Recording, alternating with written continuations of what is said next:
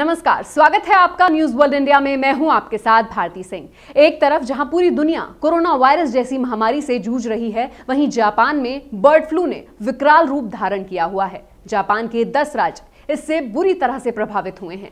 वहाँ रिकॉर्ड स्तर पर बर्ड फ्लू का प्रभाव देखा जा रहा है, जिसके बाद बड़ी संख्या में पक्षियों को मारकर दफनाने के आदेश दिए गए हैं।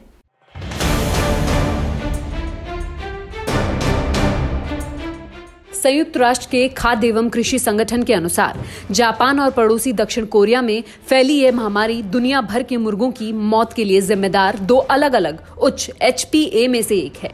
यह सबसे पहले यूरोप में जंगली पक्षियों में पैदा हुआ था। एफएओ के एक वरिष्ठ पशु स्वास्थ्य अधिकारी मधु ढींगरा के अनुसार, जापान में पाए जाने वाला वायरस आनुवंशिक रूप से हाल में कोरिया वायरस और इस तरह 2020 की शुरुआत में यूरोप में वायरस से संबंधित है। इसका मतलब यह है कि वर्तमान में पूर्वी एशिया और यूरोप में दो अलग अलग H five N eight H P A I virus मौजूद है, जो महामारी फैला रहा है।